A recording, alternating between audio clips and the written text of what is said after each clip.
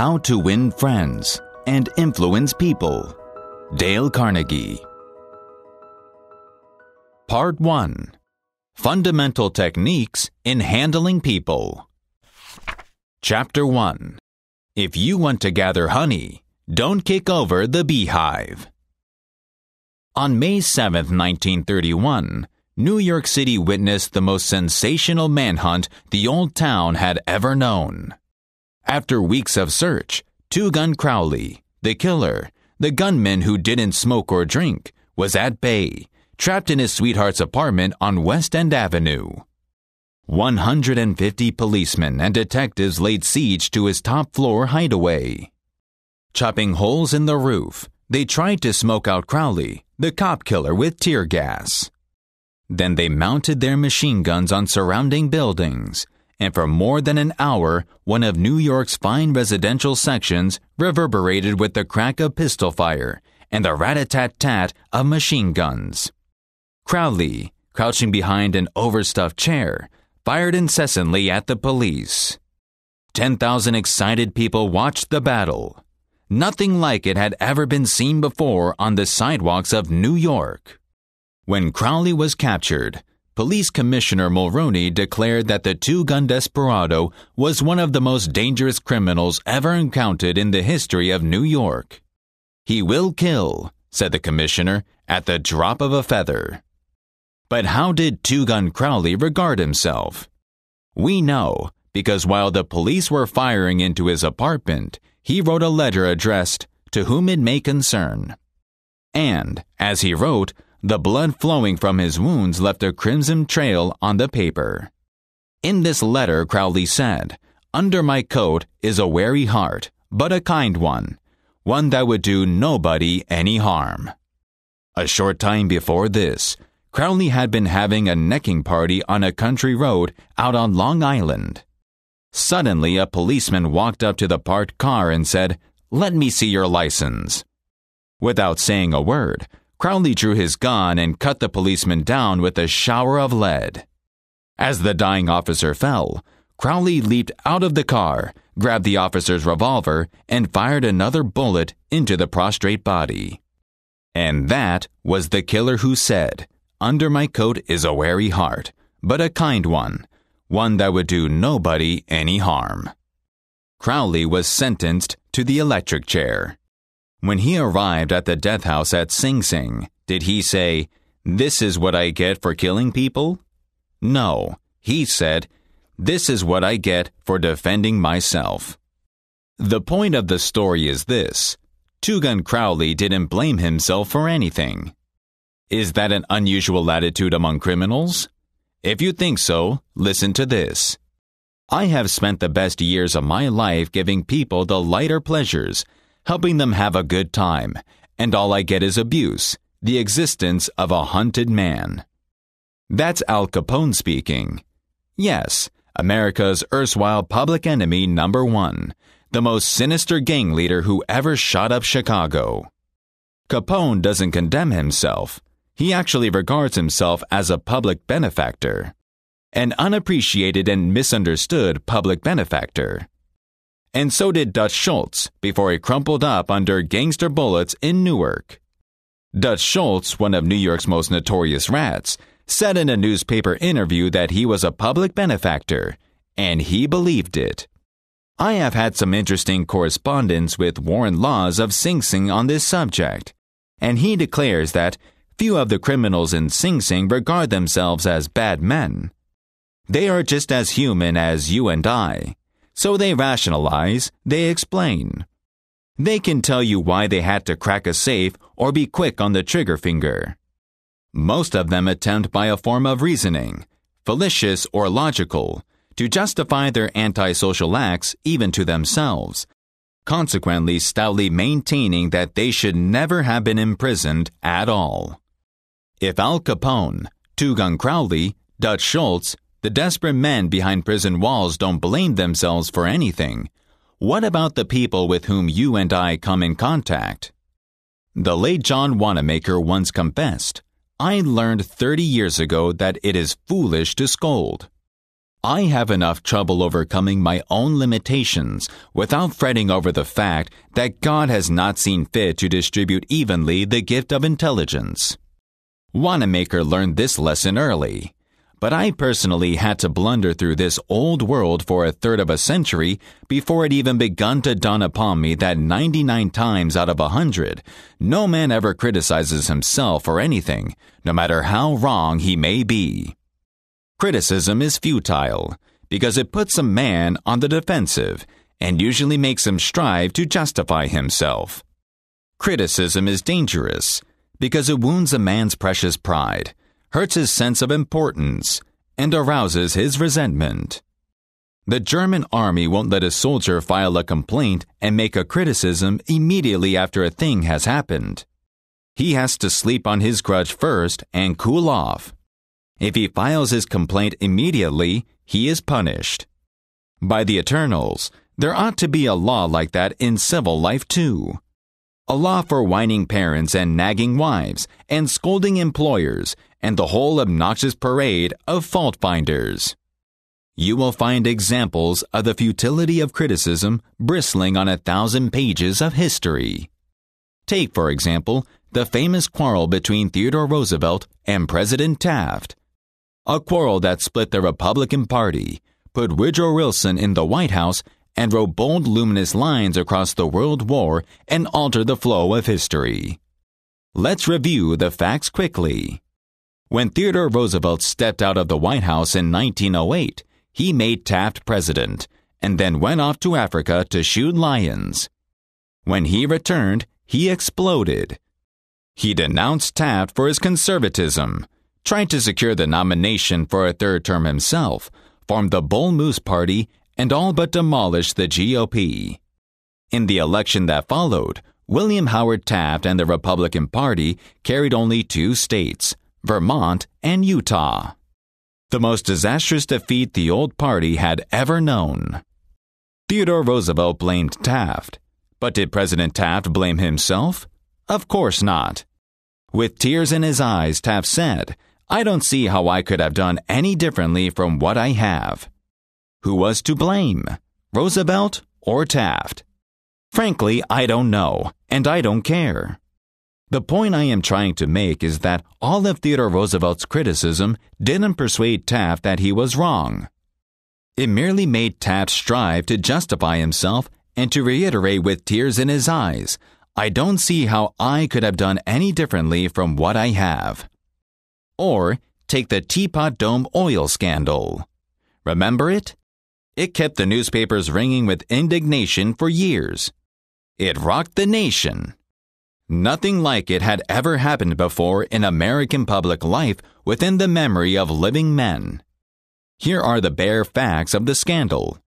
Albert Fall, Secretary of the Interior in Harding's cabinet, was entrusted with the leasing of government oil reserves at Elk Hill and Teapot Dome, oil reserves that had been set aside for the future use of the Navy. Did Secretary Fall permit competitive bidding? No, sir. He handed the fat, juicy contract outright to his friend, Edward L. Doheny. And what did Doheny do? he gave Secretary Fall what he was pleased to call a loan of $100,000. Then, in a high handed manner, Secretary Fall ordered United States Marines into the district to drive off competitors whose adjacent wells were sapping oil out of the Elk Hill reserves. These competitors, driven off their ground at the ends of guns and bayonets, rushed into court and blew the lid off the $100 million Teapot Dome scandal. A stench arose so vile that it ruined the Harding administration, nauseated an entire nation, threatened to wreck the Republican Party, and put Albert B. Fall behind prison bars. Fall was condemned viciously, condemned as few men in public life have ever been. Did he repent? Never. Years later, Herbert Hoover intimated in a public speech that President Harding's death had been due to mental anxiety and worry because a friend had betrayed him. When Mrs. Fall heard that, she sprang from her chair, she wept, she shook her fists at fate, and screamed, What? Harding betrayed by Fall? No, my husband never betrayed anyone. This whole house full of gold would not tempt my husband to do wrong. He is the one who has been betrayed and led to the slaughter and crucified. There you are, human nature in action, the wrongdoer blaming everybody but himself. We are all like that. So when you and I are tempted to criticize someone tomorrow, let's remember Al Capone, Two Gun Crowley, and Albert Fall. Let's realize that criticisms are like homing pigeons. They always return home. Let's realize that the person we are going to correct and condemn will probably justify himself and condemn us in return. Or, like the gentle Taft, he will say, I don't see how I could have done any differently from what I have. On Saturday morning, April 15, 1865, Abraham Lincoln lay dying in a hall bedroom of a cheap lodging house directly across the street from Ford's Theater, where Booth had shot him. Lincoln's long body lay stretched diagonally across a sagging bed that was too short for him. A cheap reproduction of Rosa Bonheur's famous painting, The Horse Fair, hung above the bed, and a dismal gas jet flickered yellow light. As Lincoln lay dying, Secretary of War Stanton said, There lies the most perfect ruler of men that the world has ever seen. What was the secret of Lincoln's success in dealing with men? I studied the life of Abraham Lincoln for 10 years and devoted all three years to writing and rewriting a book entitled Lincoln the Unknown. I believe I have made as detailed and exhaustive a study of Lincoln's personality and home life as it is possible for any human being to make. I made a special study of Lincoln's method of dealing with men. Did he indulge in criticism? Oh, yes. As a young man in the Pigeon Creek Valley of Indiana, he not only criticized, but he wrote letters and poems ridiculing people and dropped these letters on the country roads where they were sure to be found. One of these letters aroused resentments that burned for a lifetime. Even after Lincoln had become a practicing lawyer in Springfield, Illinois, he attacked his opponents openly in letters published in the newspapers. But he did this just once too often. In the autumn of 1842, he ridiculed a vain, pugnacious Irish politician by the name of James Shields. Lincoln lampooned him through an anonymous letter published in the Springfield Journal. The town roared with laughter. Shields, sensitive and proud, boiled with indignation. He found out who wrote the letter, leapt on his horse, started after Lincoln, and challenged him to fight a duel. Lincoln didn't want to fight. He was opposed to dueling, but he couldn't get out of it and save his honor. He was given the choice of weapons. Since he had very long arms, he chose cavalry broadswords, took lessons in sword fighting from a West Point graduate, and on the appointed day, he and Shields met on a sandbar in the Mississippi River, prepared to fight to the death. But, at the last minute, their seconds interrupted and stopped the duel. That was the most lurid personal incident in Lincoln's life. It taught him an invaluable lesson in the art of dealing with people. Never again did he write an insulting letter. Never again did he ridicule anyone and from that time on, he almost never criticized anybody for anything. Time after time, during the Civil War, Lincoln put a new general at the head of the Army of the Potomac, and each one in turn McClellan, Pope, Burnside, Hooker, Meade blundered tragically and drove Lincoln to pacing the floor in despair. Half the nation savagely condemned these incompetent generals, but Lincoln, with malice towards none, with charity for all, held his peace. One of his favorite quotations was, Judge not, that ye be not judged. And when Mrs. Lincoln and others spoke harshly of the Southern people, Lincoln replied, Don't criticize them. They are just what we would be under similar circumstances. Yet, if any man ever had occasion to criticize, surely it was Lincoln. Let's take just one illustration. The Battle of Gettysburg was fought during the first three days of July 1863. During the night of July 4th, Lee began to retreat southward while storm clouds deluged the country with rain.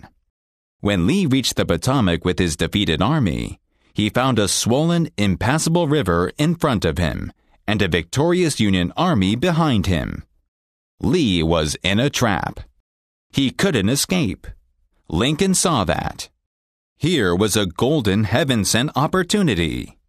The opportunity to capture Lee's army and end the war immediately. So, with a surge of high hope, Lincoln ordered Meade not to call a council of war, but to attack Lee immediately. Lincoln telegraphed his orders and then sent a special messenger to Meade demanding immediate action. And what did General Meade do? He did the very opposite of what he was told to do. He called a council of war in direct violation of Lincoln's orders. He hesitated. He procrastinated. He telegraphed all manner of excuses. He refused point blank to attack Lee. Finally, the waters receded and Lee escaped over the Potomac with his forces. Lincoln was furious. What does this mean? Lincoln cried to his son Robert. Great God, what does this mean?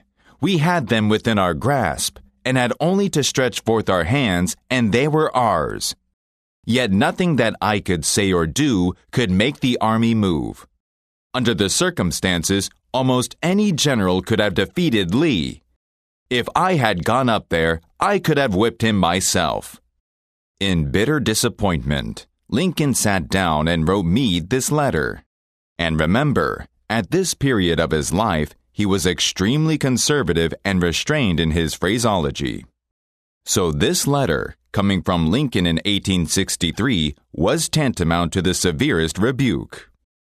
My dear General, I do not believe you appreciate the magnitude of this misfortune involved in Lee's escape. He was within our easy grasp, and to have closed upon him would, in connection with our other late successes, have ended the war. As it is, the war will be prolonged indefinitely.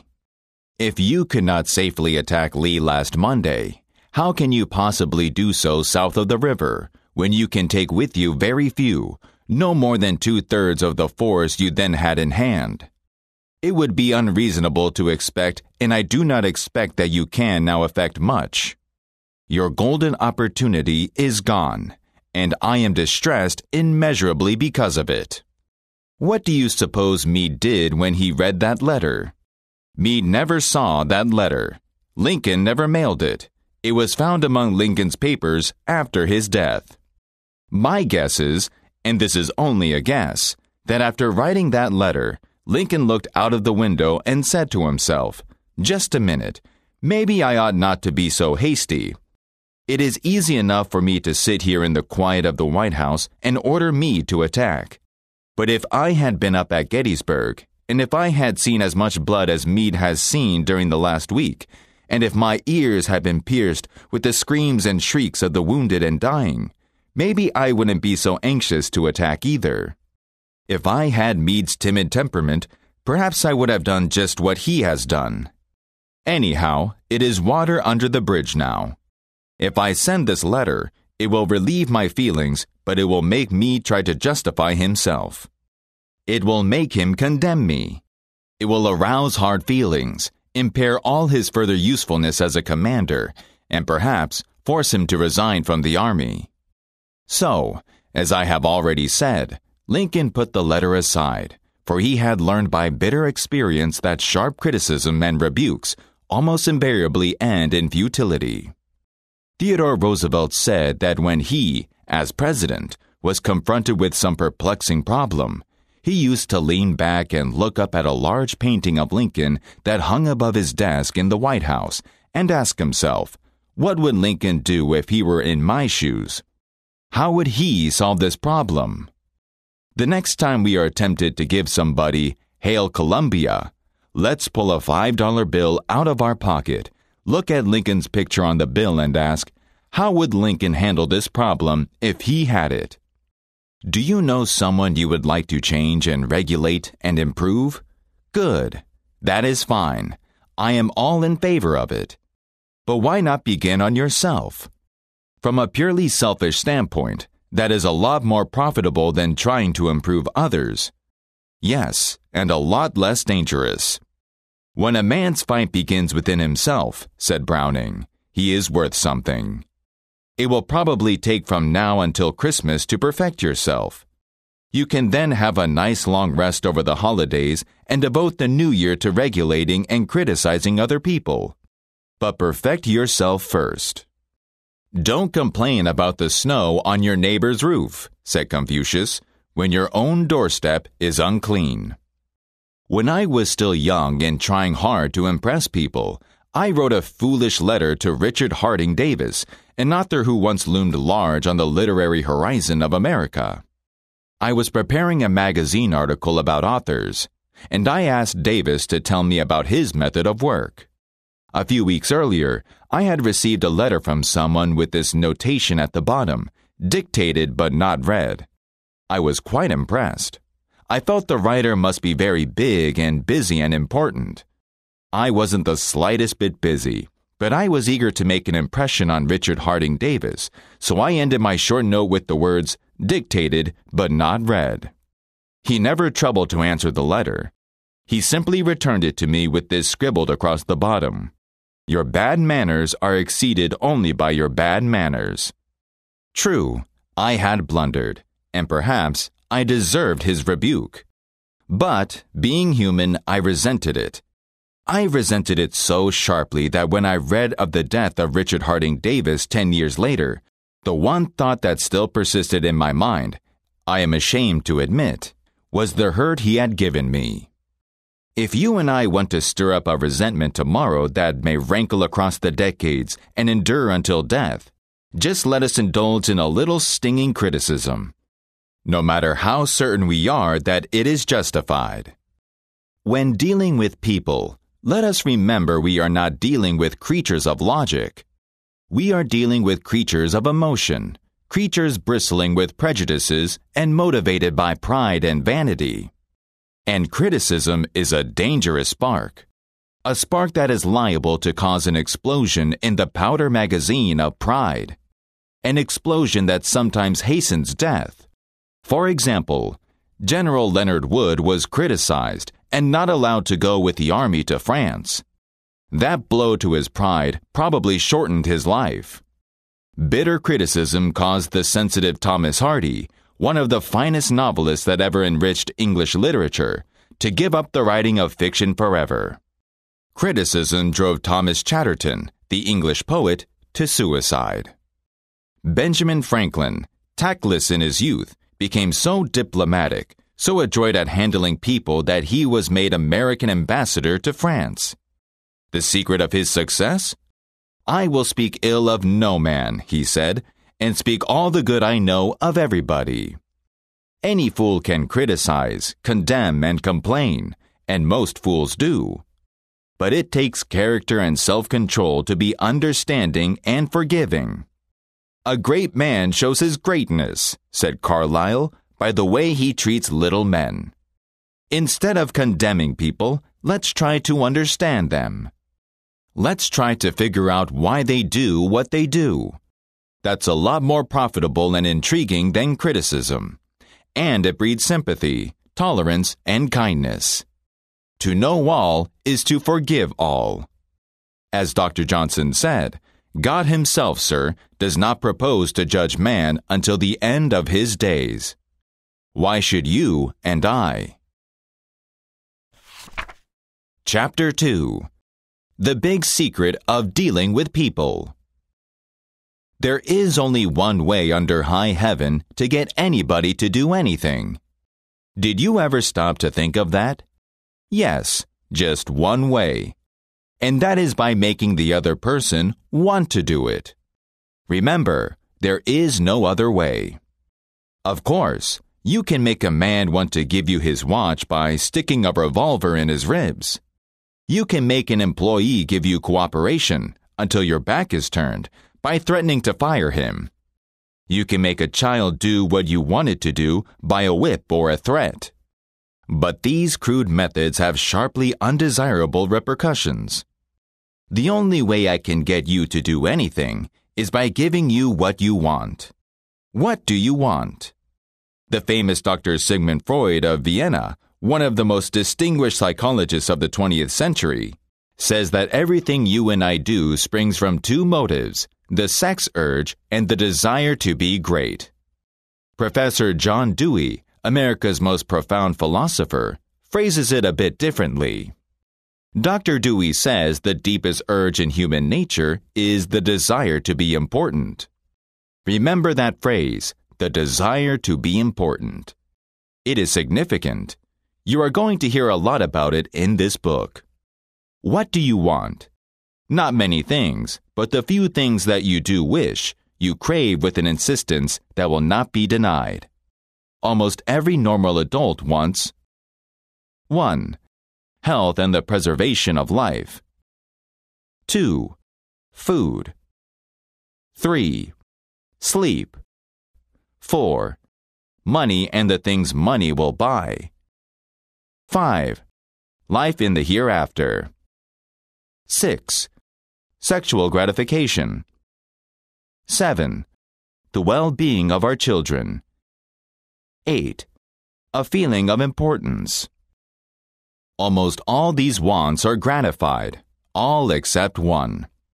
But there is one longing almost as deep, almost as imperious, as the desire for food or sleep, which is seldom gratified. It is what Freud calls the desire to be great. It is what Dewey calls the desire to be important. Lincoln once began a letter by saying, Everybody likes a compliment. William James said, The deepest principle in human nature is the craving to be appreciated. He didn't speak, mind you, of the wish or the desire or the longing to be appreciated. He said the craving to be appreciated. Here is a gnawing and unfaltering human hunger. And the rare individual who honestly satisfies this heart hunger will hold people in the palm of his hand and even the undertaker will be sorry when he dies.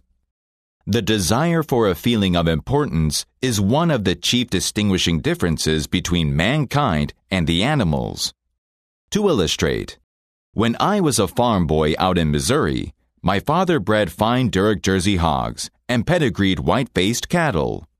We used to exhibit our hogs and white faced cattle at the county fairs and livestock shows throughout the Middle West. We won first prizes by the score.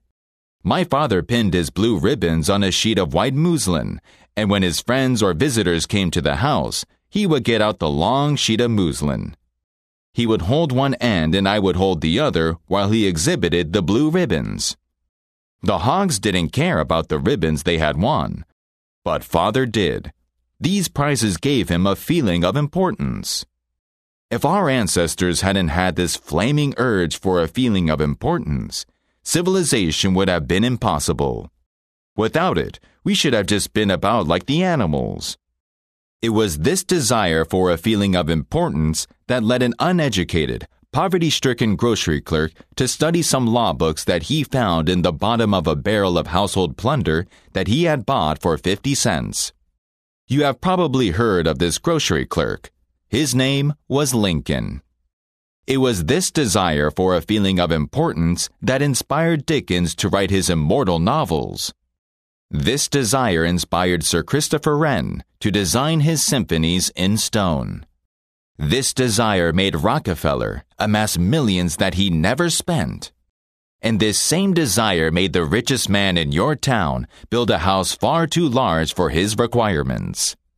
This desire makes you want to wear the latest styles, drive the latest car, and talk about your brilliant children. It is this desire which lures many boys into becoming gangsters and gunmen.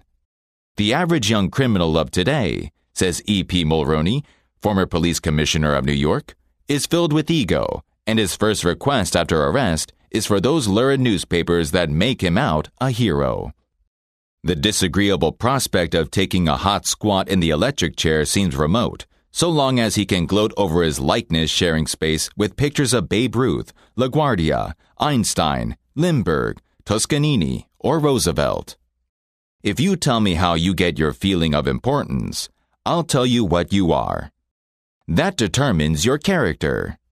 That is the most significant thing about you. For example, John D. Rockefeller gets his feeling of importance by giving money to erect a modern hospital in Peking, China, to care for millions of poor people whom he has never seen and never will see. Dillinger, on the other hand, got his feeling of importance by being a bandit, a bank robber, and killer. When the G men were hunting him, he dashed into a farmhouse up in Minnesota and said, I'm Dillinger, he was proud of the fact that he was public enemy number one. I'm not going to hurt you, but I'm Dillinger, he said. Yes, the one significant difference between Dillinger and Rockefeller is how they got their feeling of importance. History sparkles with amusing examples of famous people struggling for a feeling of importance. Even George Washington wanted to be called His Mightiness, the President of the United States and Columbus pleaded for the title Admiral of the Ocean and Viceroy of India. Catherine the Great refused to open letters that were not addressed to Her Imperial Majesty. And Mrs. Lincoln, in the White House, turned upon Mrs. Grant like a tigress and shouted, How dare you be seated in my presence until I invite you? Our millionaires helped finance Admiral Byrd's expedition to the Antarctic with the understanding that ranges of icy mountains would be named after them. And Victor Hugo aspired to have nothing less than the city of Paris renamed in his honor. Even Shakespeare, mightiest of the mighty, tried to add luster to his name by procuring a coat of arms for his family. People sometimes become invalids in order to win sympathy and attention and get a feeling of importance. For example, take Mrs. McKinley.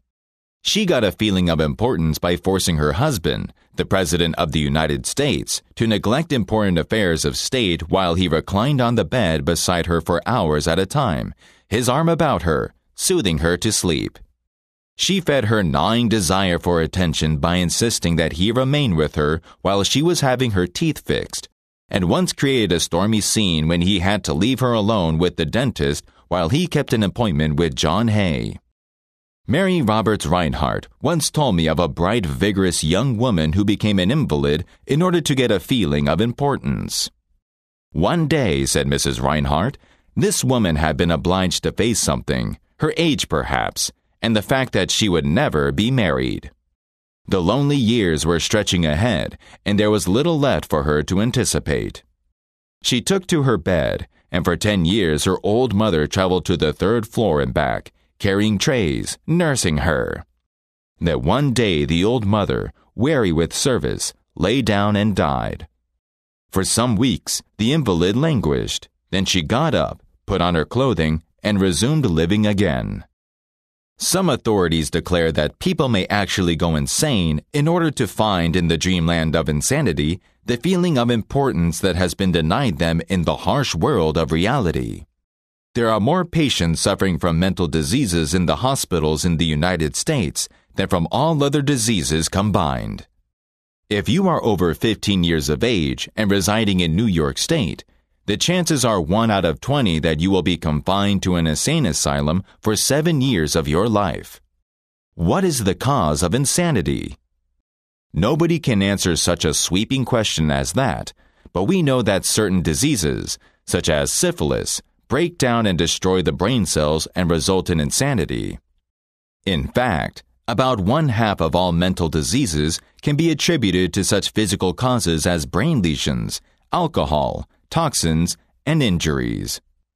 But the other half, and this is the appalling part of the story, the other half of the people who go insane apparently have nothing organically wrong with their brain cells. In post mortem examinations, when their brain tissues are studied under the highest powered microscopes, they are found to be apparently just as healthy as yours and mine.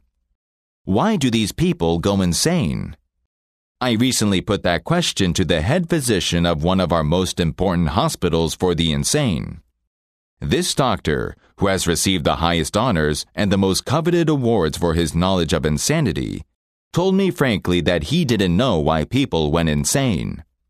Nobody knows for sure, but he did say that many people who go insane find in insanity a feeling of importance that they were unable to achieve in the world of reality. Then he told me this story.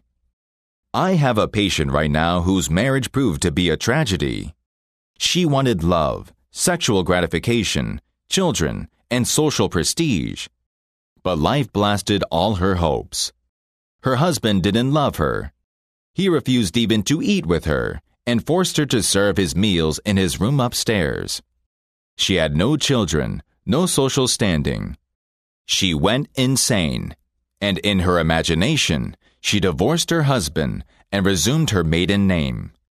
She now believes she has married into the English aristocracy, and she insists on being called Lady Smith. And as for children, she imagines now that she has a new child every night. Each time I call on her, she says, Doctor, I had a baby last night. Life once wrecked all her dream ships on the sharp rocks of reality. But in the sunny, fantastic isles of insanity, all her barkentines race into port with canvas billowing and with winds singing through the masts. Tragic? Oh, I don't know. Her physician said to me, if I could stretch out my hand and restore her sanity, I wouldn't do it. She's much happier as she is. As a group, insane people are happier than you and I. Many enjoy being insane. Why shouldn't they? They have solved their problems. They will write you a check for a million dollars or give you a letter of introduction to the Aga Khan. They have found in a dream world of their own creation the feeling of importance which they so deeply desired. If some people are so hungry for a feeling of importance that they actually go insane to get it, imagine what miracles you and I can achieve by giving people honest appreciation this side of insanity. There have been, so far as I know, only two people in history who were paid a salary of a million dollars a year Walter Chrysler and Charles Schwab. Why did Andrew Carnegie pay Schwab a million dollars a year or more than $3,000 a day. Why? Andrew Carnegie paid Charles Schwab a million dollars a year. Because Schwab is a genius? No. Because he knew more about the manufacture of steel than other people? Nonsense. Charles Schwab told me himself that he had many men working for him who knew more about the manufacture of steel than he did. Schwab says that he was paid this salary largely because of his ability to deal with people. I asked him how he did it. Here is his secret set down in his own words, words that ought to be cast in eternal bronze and hung in every home and school, every shop and office in the land. Words that children ought to memorize instead of wasting their time memorizing the conjugation of Latin verbs or the amount of the annual rainfall in Brazil. Words that will all but transform your life and mine if we will only live them. I consider my ability to arouse enthusiasm among the men, said Schwab, the greatest asset I possess, and the way to develop the best that is in a man is by appreciation and encouragement. There is nothing else that so kills the ambitions of a man as criticisms from his superiors. I never criticize anyone. I believe in giving a man incentive to work. So I am anxious to praise, but loath to find fault. If I like anything, I am hearty in my approbation and lavish in my praise. That is what Schwab does. But what does the average man do? The exact opposite. If he doesn't like a thing, he raises the old Harry. If he does like it, he says nothing. In my wide association in life, meeting with many and great men in various parts of the world, Schwab declared, I have yet to find the man, however great or exalted his station, who did not do better work or put forth greater effort under a spirit of approval than he would ever do under a spirit of criticism. That, he said, frankly, was one of the outstanding reasons for the phenomenal success of Andrew Carnegie. Carnegie praised his associates publicly as well as privately. Carnegie wanted to praise his assistants even on his tombstone. He wrote an epitaph for himself which read, Here lies one who knew how to get around him men who were cleverer than himself. Sincere appreciation was one of the secrets of Rockefeller's success in handling men. For example, when one of his partners, Edward T. Bedford, pulled a boner and lost the firm a million dollars by a bad buy in South America, John D. might have criticized. But he knew Bedford had done his best, and the incident was closed. So Rockefeller found something to praise. He congratulated Bedford because he had been able to save 60% of the money he had invested. That's splendid, said Rockefeller. We don't always do as well as that upstairs. Ziegfeld, the most spectacular entrepreneur who ever dazzled Broadway, gained his reputation by his subtle ability to glorify the American girl. He repeatedly took some drab little creature that no one ever looked at twice and transformed her on the stage into a glamorous vision of mystery and seduction. Knowing the value of appreciation and confidence, he made women feel beautiful by the sheer power of his gallantry and consideration. He was practical. He raised the salary of chorus girls from $30 a week to as high as 175. And he was also chivalrous. On opening night at the Follies, he sent a telegram to the stars in the cast, and he deluged every chorus girl in the show with American Beauty roses. I once succumbed to the fad of fasting and went for six days and nights without eating. It wasn't difficult.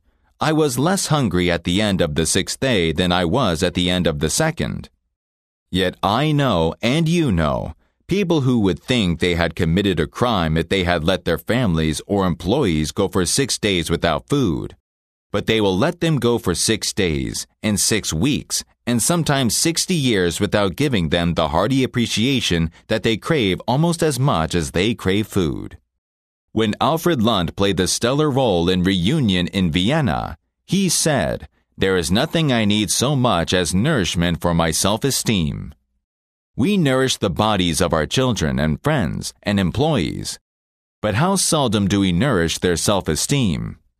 We provide them with roast beef and potatoes to build energy. But we neglect to give them kind words of appreciation that would sing in their memories for years, like the music of the morning stars.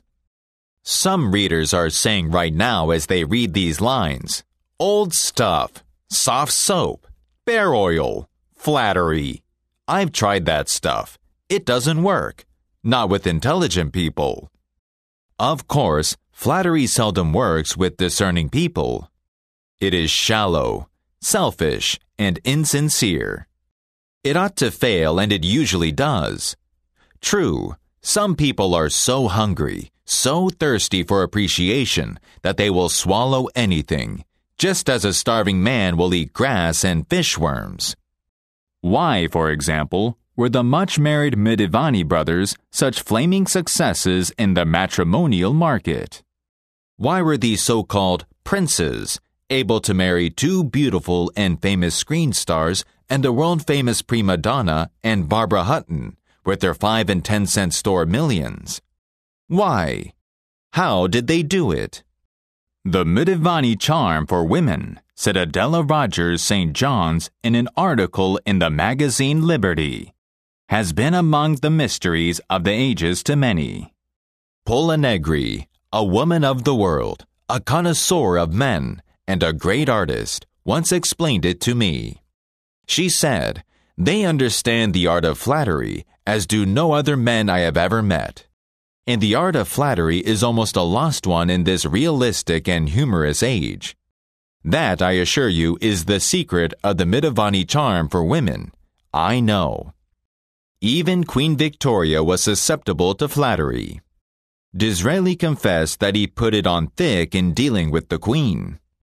To use his exact words, he said he spread it on with a trowel. But Disraeli was one of the most polished, deft, and adroit men who ever ruled the far flung British Empire. He was a genius in his line. What would work for him wouldn't necessarily work for you and me. In the long run, flattery will do you more harm than good. Flattery is counterfeit, and like counterfeit money, it will eventually get you into trouble if you try to pass it. The difference between appreciation and flattery? That is simple. One is sincere and the other insincere. One comes from the heart out, the other from the teeth out. One is unselfish, the other selfish. One is universally admired, the other is universally condemned. I recently saw a bust of General Obregon in the Chapultepec Palace in Mexico City. Below the bust are carved these wise words from General Obregon's philosophy. Don't be afraid of enemies who attack you. Be afraid of the friends who flatter you. No, no, no. I am not suggesting flattery. Far from it. I'm talking about a new way of life. Let me repeat. I am talking about a new way of life. King George V had a set of six maxims displayed on the walls of his study at Buckingham Palace. One of these maxims said, Teach me neither to proffer nor receive cheap praise. That's all flattery is cheap praise. I once read a definition of flattery that may be worth repeating. Flattery is telling the other man precisely what he thinks about himself. Use what language you will said Ralph Waldo Emerson, you can never say anything but what you are. If all we had to do was to use flattery, everybody would catch on to it and we should all be experts in human relations. When we are not engaged in thinking about some definite problem, we usually spend about 95% of our time thinking about ourselves. Now, if we stop thinking about ourselves for a while and begin to think of the other man's good points, we won't have to resort to flattery so cheap and false that it can be spotted almost before it is out of the mouth. Emerson said, Every man I meet is my superior in some way. In that, I learn of him. If that was true of Emerson, isn't it likely to be a thousand times more true of you and me? Let's cease thinking of our accomplishments, our wants. Let's try to figure out the other man's good points then forget flattery. Give honest, sincere appreciation. Be hearty in your approbation and lavish in your praise, and people will cherish your words and treasure them and repeat them over a lifetime. Repeat them years after you have forgotten them. Chapter 3 He who can do this has the whole world with him. He who cannot walks a lonely way. I go fishing up in Maine every summer. Personally, I am very fond of strawberries and cream. But I find that for some strange reason, fish prefer worms. So when I go fishing, I don't think about what I want. I think about what they want. I don't bait the hook with strawberries and cream. Rather, I dangle a worm or a grasshopper in front of the fish and say, Wouldn't you like to have that? Why not use the same common sense when fishing for men? That is what Lloyd George did. When someone asked him how he managed to stay in power after all the other wartime leaders, Wilson, Orlando, and Clemenceau, had been ousted and forgotten, he replied that if his staying on top might be attributed to any one thing, it was probably to the fact that he had learned it was necessary to bait the hook to suit the fish. Why talk about what we want? That is childish, absurd. Of course, you are interested in what you want. You are eternally interested in it. But no one else is. The rest of us are just like you. We are interested in what we want. So the only way on earth to influence the other fellow is to talk about what he wants and show him how to get it. Remember that tomorrow when you are trying to get somebody to do something. If, for example, you don't want your son to smoke, don't preach at him, and don't talk about what you want. But show him that cigarettes may keep him from making the baseball team or winning the 100 yard dash. This is a good thing to remember regardless of whether you are dealing with children or calves or chimpanzees. For example, Ralph Waldo Emerson and his son one day tried to get a calf into the barn. but they made the common mistake of thinking only of what they wanted. Emerson pushed and his son pulled, but the calf did just what they did. He thought of only what he wanted, so he stiffened his legs and stubbornly refused to leave the pasture. The Irish housemaid saw their predicament. She couldn't write essays and books, but on this occasion at least, she had more horse sense, or calf sense, than Emerson had. She thought of what the calf wanted, so she put her maternal finger in the calf's mouth and let the calf suck her finger as she gently led him into the barn. Every act you ever performed since the day you were born is because you wanted something. How about the time you gave a $100 to the Red Cross? Yes, that is no exception to the rule. You gave the Red Cross a $100 because you wanted to lend a helping hand. You wanted to do a beautiful, unselfish, divine act. Inasmuch as ye have done it unto one of the least of these my brethren, ye have done it unto me. If you hadn't wanted that feeling more than you wanted your hundred dollars, you would have not made the contribution. Of course, you may have made the contribution because you were ashamed to refuse or because a customer asked you to do it. But one thing is certain you made the contribution because you wanted something. Professor Harry A. Overstreet, in his illuminating book, Influencing Human Behavior, says action springs out of what we fundamentally desire. And the best piece of advice which can be given to would be persuaders, whether in business, in the home, in the school, in politics, is first, arouse in the other person an eager want. He who can do this has the whole world with him. He who cannot walks a lonely way. Andrew Carnegie, the poverty stricken Scotch lad who started to work at two cents an hour and finally gave away $365 million. He learned early in life that the only way to influence people is to talk in terms of what the other person wants. He attended school only four years, yet he learned how to handle people.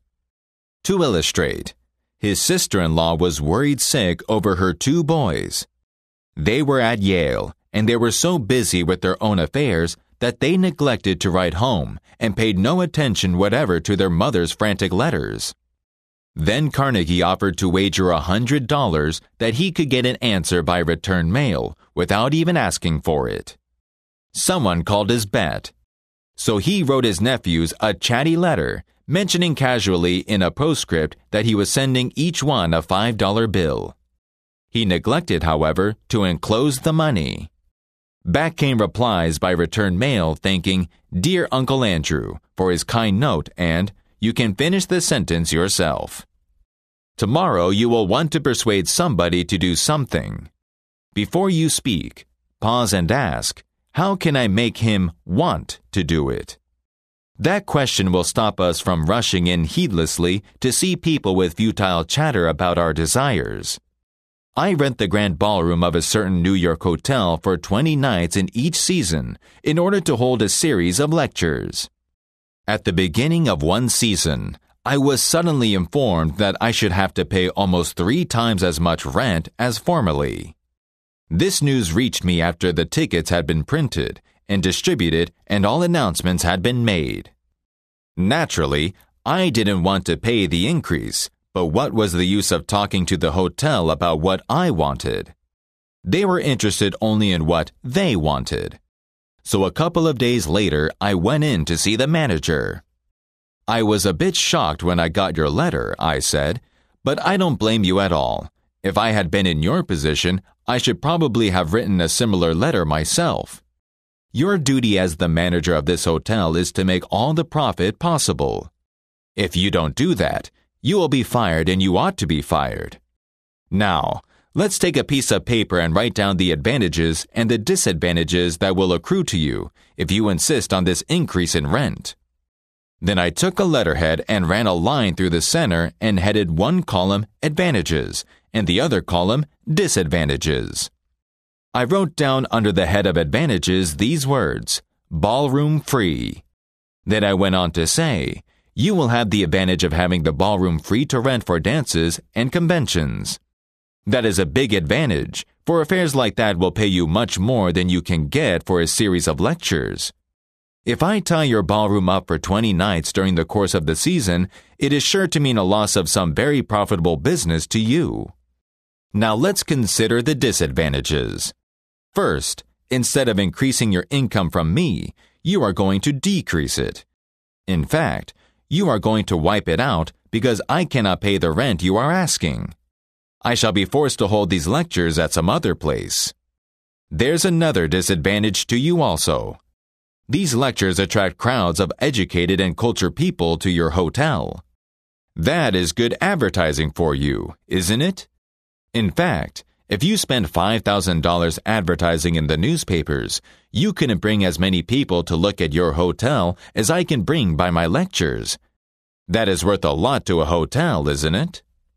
As I talked, I wrote these two disadvantages under the proper heading and handed the sheet of paper to the manager, saying, I wish you would carefully consider both the advantages and disadvantages that are going to accrue to you and then give me your final decision. I received a letter the next day informing me that my rent would be increased only 50% instead of 300%. Mind you, I got this reduction without saying a word about what I wanted.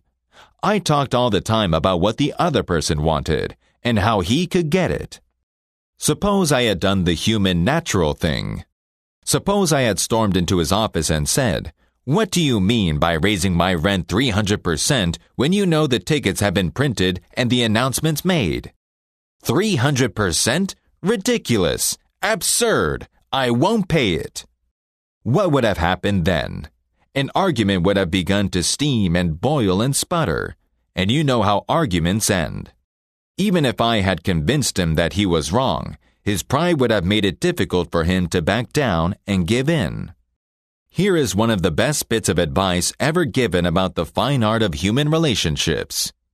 If there is any one secret of success, said Henry Ford, it lies in the ability to get the other person's point of view and see things from his angle as well as your own. That is so good, I want to repeat it.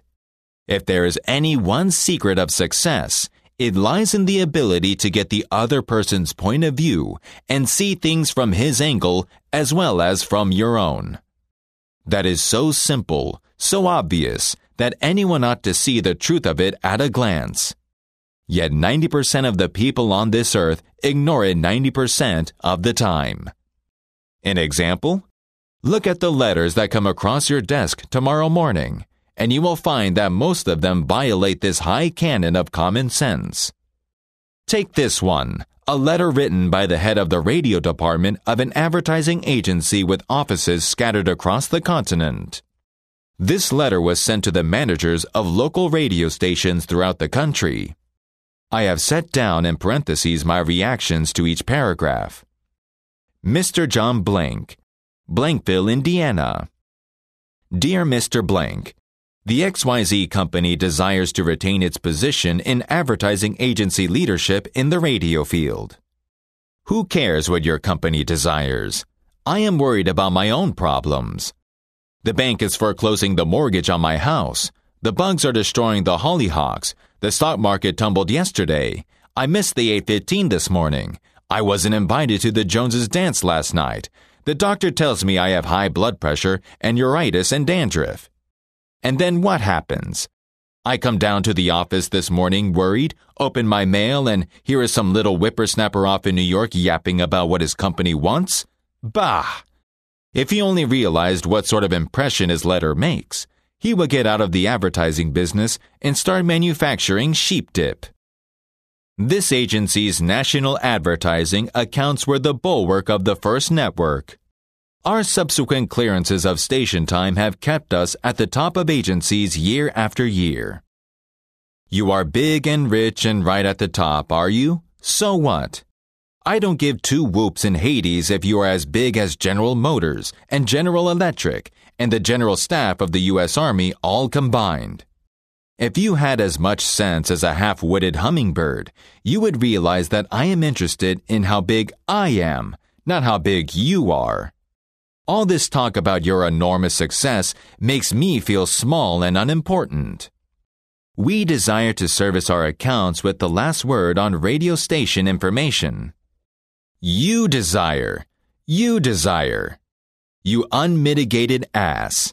I am not interested in what you desire, or what Mussolini desires, or what Bing Crosby desires.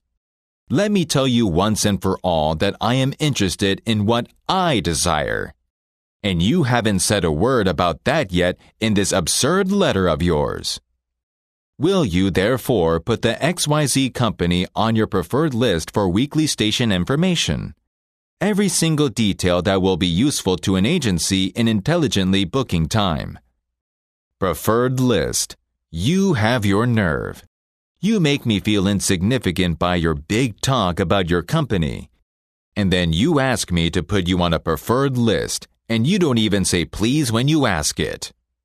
A prompt acknowledgement of this letter, giving us your latest doings, will be mutually helpful. You fool! You mail me a cheap multigraphed letter, a form letter scattered far and wide like the autumn leaves, and you have the gall to ask me when I am worried about the mortgage and the hollyhocks and my blood pressure to sit down and dictate a personal note acknowledging your multigraphed form letter? And you ask me to do it promptly. What do you mean promptly? Don't you know I am just as busy as you are? Or at least, I like to think I am. And while we are on that subject, who gave you the lordly right to order me around? You say it will be mutually helpful. At last, at last, you have begun to see my viewpoint. But you are vague about how it will be to my advantage. Very truly yours, John Blank, Manager Radio Department. P.S. The enclosed reprint from the Blankville Journal will be of interest to you, and you may want to broadcast it over your station. Finally, down here in the postscript, you mentioned something that may help me solve one of my problems. Why didn't you begin your letter with, uh, but what's the use? Any advertising man who is guilty of perpetuating such drivel as you have sent me has something wrong with his medulla oblongata. You don't need a letter giving our latest doings. What you need is a quart of iodine in your thyroid gland. Now, if a man who devotes his life to advertising and who poses as an expert in the art of influencing people to buy, if he writes a letter like that, what can we expect from the butcher and baker and carpet tack maker? Here is another letter, written by the superintendent of a large freight terminal to a student of this course, Mr. Edward Vermylen. What effect did this letter have on the man to whom it was addressed? Read it, and then I'll tell you. A. Sons Incorporated, 28 Front Street, Brooklyn, New York. Attention, Mr. Edward Vermylen. Gentlemen, the operations at our outbound rail receiving station are handicapped because a material percentage of the total business is delivered us in the late afternoon. This condition results in congestion, overtime on the part of our forces, delays to trucks, and in some cases, delays to freight. On November 10th, we received from your company a lot of 510 pieces which reached here at 4:20 p.m. We solicit your cooperation toward overcoming the undesirable effects arising from late receipt of freight. May we ask that, on days which you ship the volume which was received on the above date, effort be made either to get the truck here earlier or to deliver us part of the freight during the forenoon. The advantage that would accrue to you under such an arrangement would be that of more expeditious discharge of your trucks and the assurance that your business would go forward on the date of its receipt. Very truly yours. J.B. Superintendent. After reading this letter, Mr. Vermylen, sales manager for A. Zerega Sons Incorporated, sent it to me with the following comment. This letter had the reverse effect from that which was intended. The letter begins by describing the terminal's difficulties in which we are not interested, generally speaking. Our cooperation is then requested without any thought as to whether it would inconvenience us, and then finally, in the last paragraph, the fact is mentioned that if we do cooperate, it will mean more expeditious discharge of our trucks with the assurance that our freight will go forward on the date of its receipt. In other words, that in which we are most interested is mentioned last, and the whole effect is one of raising a spirit of antagonism rather than of cooperation. Let's see if we can rewrite and improve this letter. Let's not waste any time talking about our problems. As Henry Ford admonishes, let's get the other person's point of view and see things from his angle as well as from our own. Here's one way of revising it. It may not be the best way, but isn't it an improvement? Mr. Edward Vermylen, CEO A. Sons Incorporated, 28 Front Street, Brooklyn, New York. Dear Mr. Vermylen, Your company has been one of our good customers for 14 years. Naturally, we are very grateful for your patronage and are eager to give you the speedy, efficient service you deserve. However, we regret to say that it is impossible for us to do that when your trucks bring us a large shipment late in the afternoon, as they did on November 10th. Why? Because many other customers make late afternoon deliveries also. Naturally, that causes congestion. That means your trucks are held up unavoidably at the pier, and sometimes even your freight is delayed. That's bad. Very bad. How can it be avoided? by making your deliveries at the pier in the forenoon when possible. That will enable your trucks to keep moving, your freight will get immediate attention, and our workmen will get home early at night to enjoy a dinner of the delicious macaroni and noodles that you manufacture. Please don't take this as a complaint, and please don't feel I am assuming to tell you how to run your business. This letter is prompted solely by a desire to serve you more effectively. Regardless of when your shipments arrive, we shall always cheerfully do all in our power to serve you promptly. You are busy. Please don't trouble to answer this note. Yours truly, J.B. Superintendent. Thousands of salesmen are pounding the pavements today, tired, discouraged, and underpaid. Why? Because they are always thinking only of what they want. They don't realize that neither you nor I want to buy anything. If we did, we would go out and buy it. But both of us are eternally interested in solving our problems. And if a salesman can show us how his services or his merchandise will help us solve our problems, he will need to sell us. We'll buy. And a customer likes to feel that he is buying, not being sold. Yet many men spend a lifetime in selling without seeing things from the customer's angle. For example, I live in Forest Hills, a little community of private homes in the center of greater New York. One day, as I was rushing to the station, I chanced to meet a real estate operator who had bought and sold property on Long Island for many years. He knew Forest Hills well, so I hurriedly asked him whether or not my stucco house was built with metal lath or hollow tile. He said he didn't know and told me what I already knew that I could find out by calling the Forest Hills Gardens Association. The following morning, I received a letter from him. Did he give me the information I wanted? He could have gotten it in 60 seconds by a telephone call. But he didn't. He told me again that I could get it by telephoning myself and then asked me to let him handle my insurance. He was not interested in helping me. He was interested only in helping himself. I ought to have given him copies of Vash Young's excellent little books, The Go Giver and A Fortune to Share. If he read those books and practiced their philosophy, they would make him a thousand times as much profit as handling my insurance. Professional men make the same mistake. Several years ago, I walked into the office of a well known nose and throat specialist in Philadelphia. Before he even looked at my tonsils, he asked me what my business was. He wasn't interested in the size of my tonsils. He was interested in the size of my exchequer. His chief concern was not in how much he could help me.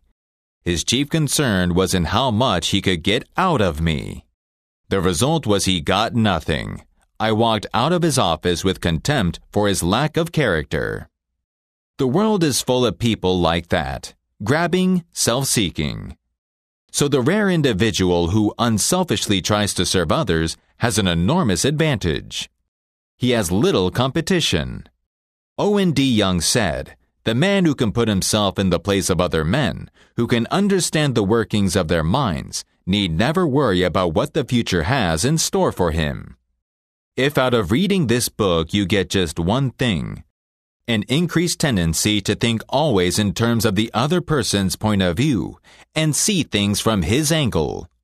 If you get that one thing out of this book, it may easily prove to be one of the milestones of your career. Most men go through college and learn to read Virgil and master the mysteries of calculus without ever discovering how their own minds function. For instance, I once gave a course in effective speaking for the young college men who were entering the employ of the Carrier Corporation, Newark, New Jersey, the organization that cools office buildings and air conditions theaters. One of the men wanted to persuade the others to play basketball, and this is about what he said. I want you men to come out and play basketball. I like to play basketball, but the last few times I have been to the gymnasium, there haven't been enough men there to get up a game. Two or three of us got to throwing the ball around the other night, and I got a black eye. I wish you boys would come down tomorrow night. I want to play basketball. Did he talk about anything you want? You don't want to go to a gymnasium that no one else goes to, do you? You don't care about what he wants. You don't want to get a black eye. Could he have shown you how to get the things you want by using the gymnasium? Surely. More pep. Keener edge to the appetite. Clearer brain. Fun. Games. Basketball. To repeat Professor Overstreet's wise advice, First, arouse in the other person an eager want. He who can do this has the whole world with him. He who cannot walks a lonely way. One of the students in the author's training course was worried about his little boy. The child was underweight and refused to eat properly. His parents used the usual method. They scolded and nagged. Mother wants you to eat this and that. Father wants you to grow up to be a big man. Did the boy pay any attention to these pleas? Just about as much as you pay to the feast days of the Mohammedan religion. No man with a trace of horse sense would expect a child three years old to react to the viewpoint of a father 30 years old. Yet that was precisely what the father had expected. It was absurd. He finally saw that. So he said to himself, what does that boy want? How can I tie up what I want to what he wants? It was easy when he started thinking about it. His boy had a tricycle which he loved to ride up and down the sidewalk in front of the house in Brooklyn. A few doors down the street lived a menace, as they say out in Hollywood. A bigger boy who would pull the little boy off his tricycle and ride it himself. Naturally, the little boy would run screaming to his mother, and she would have to come out and take the menace off the tricycle and put her little boy on again. This happened almost every day. What did the little boy want? It didn't take a Sherlock Holmes to answer that one. His pride, his anger, his desire for a feeling of importance, all the strongest emotions in his makeup, goaded him on to get revenge to smash the menace in the nose.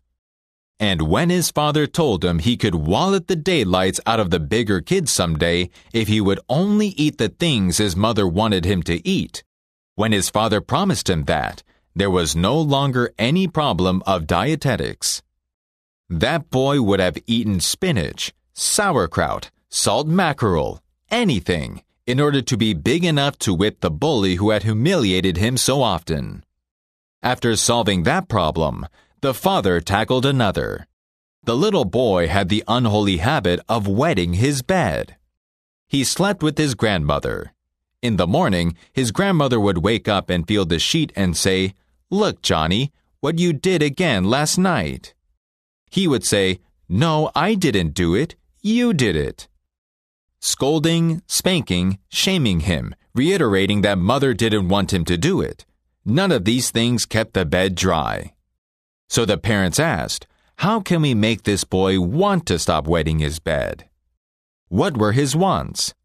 First, He wanted to wear pajamas like daddy instead of wearing a nightgown like grandmother. Grandmother was getting fed up with his nocturnal iniquities, so she gladly offered to buy him a pair of pajamas if he would reform. Second, he wanted a bed of his own. Grandma didn't object.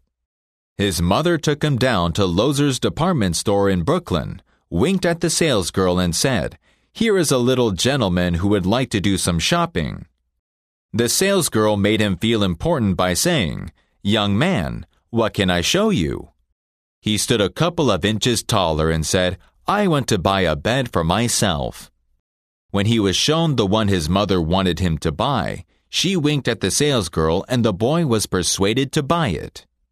The bed was delivered the next day, and that night, when father came home, the little boy ran to the door shouting, Daddy! Daddy! Come upstairs and see my bed that I bought. The father, looking at the bed, obeyed Charles Schwab's injunction. He was hearty in his approbation and lavish in his praise. You are not going to wet this bed, are you? the father asked. Oh, no, no, I am not going to wet this bed. The boy kept his promise, for his pride was involved. That was his bed. He and he alone had bought it. And he was wearing pajamas now like a little man. He wanted to act like a man, and he did. Another father, K.T. Dutschmann, a telephone engineer, a student of this course, couldn't get his three year old daughter to eat breakfast food. The usual scolding, pleading, coaxing methods had all ended in futility. So the parents asked themselves, how can we make her want to do it? The little girl loved to imitate her mother, to feel big and grown up. So one morning they put her on a chair and let her make the breakfast food. At just the psychological moment, father drifted into the kitchen while she was stirring the breakfast food and she said, Oh, look, Daddy, I am making the Maltex this morning. She ate two helpings of the cereal that morning without any coaxing because she was interested in it. She had achieved a feeling of importance. She had found in making the breakfast food an avenue of self expression. William Winter once remarked that self expression is the dominant necessity of human nature. Why can't we use that same psychology in business? When we have a brilliant idea, Instead of making the other person think it is ours, why not let him cook and stir the idea himself? He will then regard it as his own. He will like it and maybe eat a couple of helpings of it. Remember, first arouse in the other person an eager want. He who can do this has the whole world with him. He who cannot walks a lonely way.